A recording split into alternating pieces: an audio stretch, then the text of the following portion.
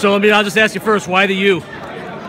Um, because they got like good tradition that I'm in love with, and like the people who came from there, like they good people. So I mean, like I could see myself like fitting in with Miami really good. So I mean, like only time will tell. So I'm just willing to go down there and work and be the best I can be. They've got a, a tradition, obviously, of, of liking to throw the ball. Mm-hmm. Uh, does that tradition play into your decision at all? Yeah, real lot because like I like the deep ball and sometimes the short short pass. So I mean, like it's a great fit for Miami.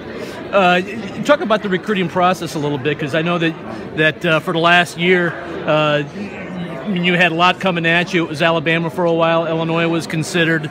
Um, just how, how hard was it to, for you to, to arrive at, at your decision?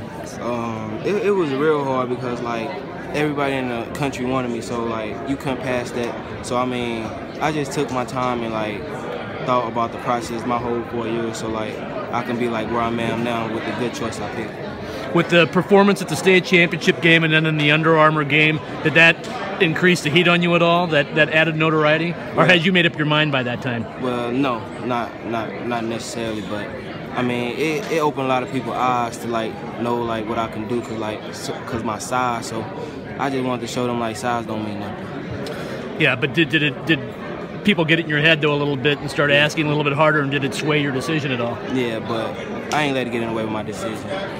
Yep. So, uh, what's your next step then? I guess uh, when do you report with them, and when do you get to um, work? I want to say May 22nd, but I'm not sure.